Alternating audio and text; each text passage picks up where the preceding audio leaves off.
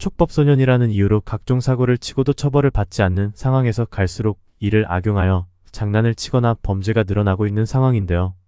지난 3월에 발생된 사고가 최근 온라인 커뮤니티를 통해 알려져 충격인데요.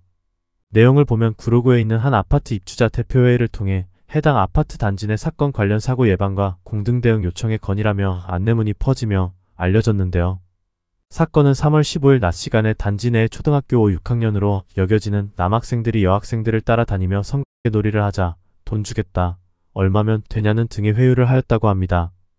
이에 여학생들은 왜 우리한테 이러냐고 하자 다른 애들은 엄마들이랑 같이 다녀서 안 된다.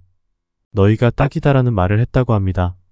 하지만 범죄가 미수에 그치자 여기서 끝나지 않고 학원차에서 내린 8살 아이를 따라가 놀이터로 유인하여 성 주며 내 것도 보자라고 했고 놀란 아이가 도망쳐 자기 집 공동연관으로 들어가자 따라 들어와 CCTV가 없는 계단실로 가자며 무릎 꿇고 빌었고 조금 이동하여 또 다시 자신의 성 노출을 하였다고 합니다.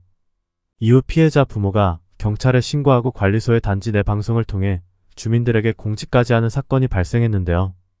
해당 가해 남학생들은 3명으로 보여진다며 정확하지 않지만 땡땡초에 다니는 학생과 타 학교 학생이 혼재해 있는 듯하다며 사는 곳이 어디인지는 개인정보로 인해 파악하지 못하는 상황이라고 말하였습니다. 이후 해당 학교와 교육청에 민원을 넣었다고 합니다. 진짜 요즘 세대의 학생들은 과거에 비해 접하는 방식과 종류가 많다 보니 사건, 사고도 다양하게 일어나는 것 같습니다. 소년법을 보면 형벌 법령에 저촉되는 행위를 한 10세 이상, 14세 미만인 소년으로 되어 있는 상황에서 13세로 낮추는 방안을 검토하고 있다는데 아직 적용은 안 된 것 같은데요. 언제까지 과거의 축법소년에 관한 법을 그대로 적용하려고 하는지 모르겠습니다. 범죄의 방식은 다양해지는데 과거에만 멈춰있는 상황이 참 답답하네요. 아이의 잘못이기도 하겠지만 부모들의 교육이 가장 중요할 텐데요.